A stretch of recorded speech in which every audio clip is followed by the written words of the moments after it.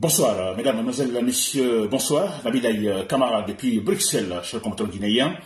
Voilà, en fait, c'était pas prévu ce direct, mais bon voilà, il y a eu en fait ce discours irrationnel de la part de Mamadi Doumbouya, donc euh, le président de la transition guinéenne. Alors, Mamadi Doumbouya, l'assassin, Mamadi Doumbouya, le barbare, cher compatriote guinéen, n'est-ce pas? Alors, euh, mon thème d'information, donc à chaud, c'est sur ce discours que Mamadi Doumbouya vient donc de tenir, euh, disons, euh, devant l'Assemblée générale des Nations Unies, c'est à New York, chez le aux États-Unis. N'est-ce pas? Un discours irrationnel, ce qui fait que je bondis tout, de suite pour voilà, mettre les choses en ordre. Alors, à New York, sûrement vous l'avez écouté, ce discours, Mamadi Doumbouya.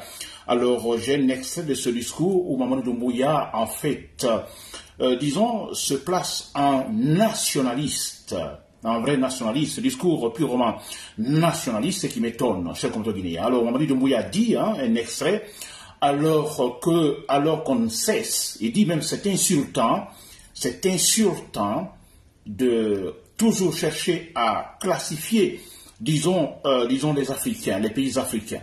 Tantôt, euh, voilà, nous sommes pro-américains, pro, pro-occidentaux, pro-chinois, pro-russes ou pro-turcs. Il dit que c'est insultant, que nous, nous sommes tout simplement des pro-africains. N'est-ce pas? Voilà, c'est le nationalisme, tout, tout court, ce qu'on Guinée. Alors, Mamadou Doumbouya dit, mais c'est insultant, arrêtez tout simplement de, de, de faire cette classification de nous sous-classifier, s'il faut dire, euh, tantôt nous sommes des pro-russes, pro-américains, pro-turcs, euh, pro-chinois. Que c'est insultant, retenez bien cette expression, que c'est insultant, n'est-ce pas? Très bien, cher Guinéen. Donc c'est le thème euh, tout de suite hein, que je détaille maintenant, cher Guinéen. Alors, euh, euh, franchement, c'est d'abord je salue ces Guinéens qui, là-bas à New York, sont sortis, donc autour également de cette Assemblée nationale des, Nations Unies, pour en fait protester, huer Mamadi Doumbouya en le qualifiant donc d'assassin, parce qu'il est tout simplement un assassin, n'est-ce pas? Pas autre chose. Du moment, moi j'ai soutenu Mamadi Doumbouya quand il a renversé Alpha Condé, alors dès lors que cet homme a commencé à faire la même chose qu'Alpha Condé, tirer des balles sur des manifestants, là c'était fini. C'est fini. Le divorce total. Et jusqu'à sa chute, ma position est ainsi. Il doit chuter. Et mon souhait d'ailleurs qu'il chute de la manière la plus brutale qui soit. Parce que c'est un assassin, c'est cher contre guinéen.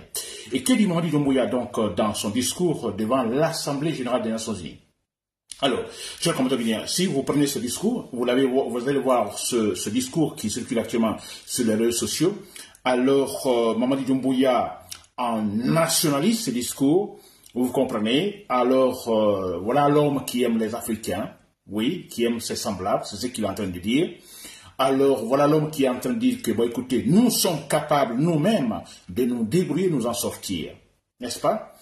Alors, euh, ce qui m'étonne ici, c'est un discours nationaliste de la part d'un monsieur qui est dans une transition, qui est à la tête d'une transition. Une transition qui d'ailleurs ne se retrouve même pas, la transition en Guinée. Il est à la tête d'une transition, donc d'un problème, des problèmes dans son propre pays. Il va euh, aux Nations Unies parler d'un problème, d'une situation qui le dépasse, qui dépasse même son pays, parce qu'on a déjà d'autres chats à fouetter dans notre pays. On a une transition qui est bafouée. On a un pays qui n'a pas de structure solide consolidée. On a un pays bafoué, totalement qui n'a pas de valeur.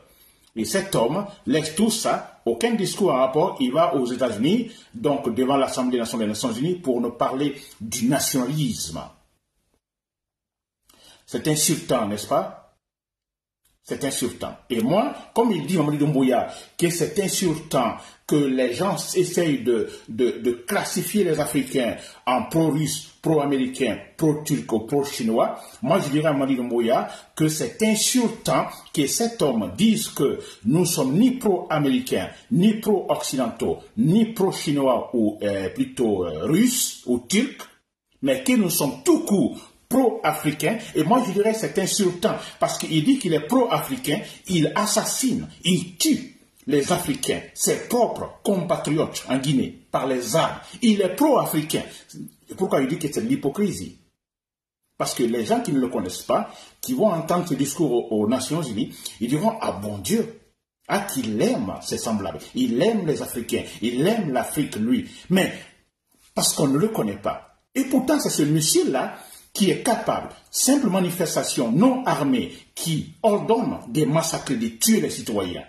Il est là à nous chanter, à fanfaronner là-bas que nous sommes tout simplement pro-africains. Ce n'est pas de l'hypocrisie pure, ça. Et qu'on dise là-bas à ces gens qui suivent son discours, écoutez ce monsieur, vous savez combien de gens sont tués par balle dans son pays? Simple manifestation non armée, il les tue, il n'y a aucune enquête. Enquête pour ne pas parler de jugement, absolument rien. Et seulement des discours de moquerie. Vous cherchez, on vous dit que les manifestations sont interdites et vous sortez. Et si vous êtes mort, vous l'allez chercher. On a ces militaires, ces policiers, ces ministres qui vont dans les quartiers, qui insultent les citoyens, qui blessent et qui tuent. Et cet homme-là, devant, disons, l'Assemblée générale des Nations Unies, dit que nous sommes pro-africains, que c'est insultant de dire que nous sommes pro-russes, pro-américains, ou ne sais pas quoi d'autre. Qu'est-ce qui est plus insultant? Vous dites que vous êtes pro-africain, mais vous assassinez froidement les Africains. D'ailleurs, vos semblables, vos compatriotes, s'il vous plaît. N'est-ce pas? Très bien. Alors, euh, et, d'ailleurs encore plus ridicule, je dis bien, je l'ai dit tantôt, en fait, nous sommes dans une transition. C'est un monsieur qui a la tête d'une transition. Une transition qui ne fonctionne pas. Pas du tout, rien, absolument rien. Désorienté. Et qui va là-bas pour parler du nationalisme. N'est-ce pas? Avec, vous l'avez vu, essayez, si vous n'avez pas vu encore cette vidéo, essayez de voir cette vidéo. Mamadi Doumbouya adopte un comportement, vous allez voir ces, gesticules, hein, comment en fait il se présente, comment il donne ce discours. Ça me rappelle euh, bien sûr de, Dalis Kamara, n'est-ce pas? Dalis Kamara, vous vu quand Dalis Kamara est arrivé au pouvoir, la plus grosse erreur de sa part, Dalis Kamara, si vous me suivez, c'est cela, la plus grosse erreur de sa part, c'est essayer de se donner en fait euh, un caractère, n'est-ce pas qui n'est pas le sien. C'est vrai. Tantôt, il, se voit comme Sekou tantôt il se voit comme Thomas Sankara et tant d'autres. En fait, il bafoue son soi. Il a son soi. Il a refusé d'exploiter son soi, son moi. Il l'a refusé. Il se met dans les coquilles des autres. Et voilà pourquoi il a échoué. Dans sa chambre, avec un livre d'un philosophe, en disant, bon, écoutez, vous voyez, moi je lis les philosophes. Il oublie son soi, mais c'est ça. N'est-ce pas? Dans le corps des autres. Et voilà pourquoi il a échoué. Mamadou Mbouya, je l'ai vu dans ce discours, en fait, euh, il veut se mettre dans un corps donné, c'est Coutouré. Hein? Dans le corps des nationalistes. Il oublie son soi. Il oublie son soi, le devoir maintenant de son soi, c'est-à-dire gérer cette transition équitablement objectivement est dégagé. Il refuse, il ne le voit pas ça. Il va inventer d'autres choses et s'attaquer à d'autres problèmes. N'est-ce pas? Et voilà pourquoi il va échouer. Il a échoué déjà, Mamadou Doumbouya. N'est-ce pas? Et c'est vrai. D'abord, c'est un monsieur qui ne connaît absolument rien, donc c'est normal. Alors, euh, on tente, on le pousse d'aller donc euh, là-bas pour cette Assemblée générale des Nations Unies. Alors, on le pousse à donner un tel discours, etc., etc. Alors, il est, il est mené. Il ne mène pas, mais il est mené par son entourage. Parce qu'il ne connaît absolument rien. Il est nul. Il est nul. Et on a vu, on apprend également à New York, aux États-Unis, comment l'argent guinéen est dilapidé là. Ils ont pris beaucoup d'argent à les partager par-ci, par-là, pour un soutien. N'est-ce pas? Des millions qui sont dépensés, des francs guinéens, qui sont dépensés actuellement aux États-Unis, distribués aux Guinéens pour une sorte de, comité de soutien. C'est une honte, n'est-ce pas? C'est pourquoi moi je dis, pour terminer. Je ne veux pas retarder le temps. Alors, euh, moi je le dis, Mamadou Doumbouya, c'est un échec, il a échoué totalement. Les chers compatriotes dans l'armée, je sais que vous savez quand il faut le, comment il faut le faire et quand il faut agir. Mais écoutez, vous avez des arguments, des argumentations, il y en a 100% plein pour le faire descendre, l'éliminer. C'est clair et net, parce qu'il ne vaut absolument rien. Il ne vaut absolument rien. Il veut tenter la politique. Il veut se jeter dans cette dans cette façon de faire la politique, n'est-ce pas, porter le manteau de ce politicien, des faux politiciens, disons politiciens, comme nous disons de la politique politicienne. N'est-ce pas? Mais c'est un échec. Parce qu'il ne connaît rien. Mais écoutez, on doit le dire, répéter mille fois. C'est pourquoi j'ai aimé euh, cette, euh, dans en fait, euh, au Nigeria, il y a dans la, constitution nigérienne, il est dit quelque part qu'on ne peut pas être président de l'Assemblée nationale si on n'est pas, en fait, diplômé en sciences politiques. Vous savez Parce qu'on s'est dit là, il faut la maîtrise pour ça. Vous ne pouvez pas, être député sans diplôme, mais pour être président de l'Assemblée nationale, vous devez être diplômé en sciences politiques. Sinon, non. Et c'est important. Regardez aujourd'hui au, au, Nigeria, face au, conflit nigérien. N'est-ce pas? Le président, l'exécutif, le pouvoir exécutif décide tout de suite, en fait, euh, avec suivant les directives de la CDAO, d'envoyer les militaires nigérians au Niger pour dégager les putschistes. Vous avez vu ce qui s'est passé dans l'Assemblée nationale. L'Assemblée nationale, donc, euh, en tapant le point donc, sur la table, en disant, bah, écoutez, vous ne pouvez pas prendre cette décision sans nous informer.